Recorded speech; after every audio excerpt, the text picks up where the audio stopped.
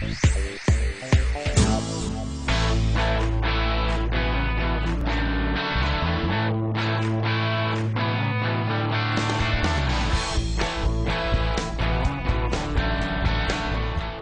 we're uh, doing a hot weather soak evaluation on the Chevy Volt, and this is where we park the car out in the parking lot on a hot day and just let it sit here and bake all day long.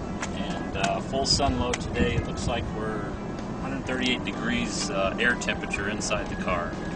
And what this would simulate is uh, a person that was in the parking in a mall or going in to see a movie or whatever. They come back out of the mall, get in the car, we uh, touch everything that's in the car. We uh, uh, cycle all the accessories, look for squeaks and noises that might be present when things are hot and heated up, uh, things that might not be present when the vehicle is a little bit cooler.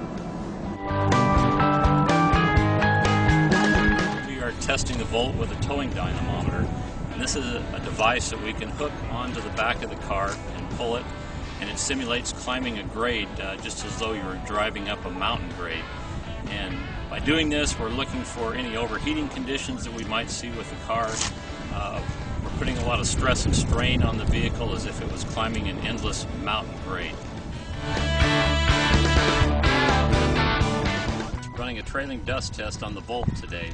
And the trailing dust test, we drive the car behind another car that's kicking up a big plume of dust. And by doing this, we can check for any dust intrusion issues that we have inside the car, door seals, uh, any dust intrusion maybe through the air filter or the other filtration systems in the car. And uh, so that's what we're checking today. Cheryl Clark.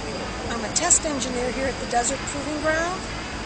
We're getting ready to do an RSTP test, road schedule temperature profile.